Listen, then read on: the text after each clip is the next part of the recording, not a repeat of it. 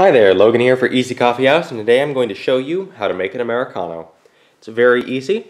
All we're going to do is we're going to start by grinding our beans.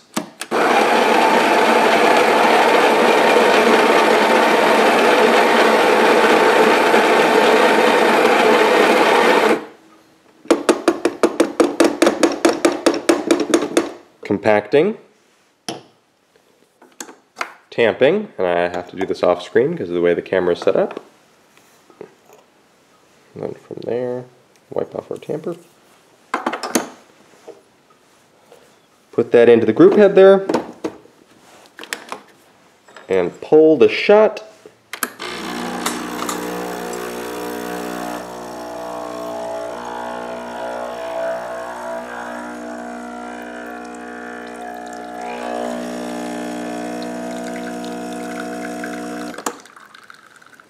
And after our shot has finished dripping out, we are going to move over here to the hot water side of the machine and just fill the rest of the cup up with hot water.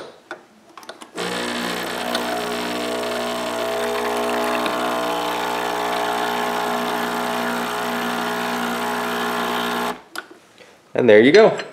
An easy Americano. Now you may be wondering what's the difference between an Americano and a long black?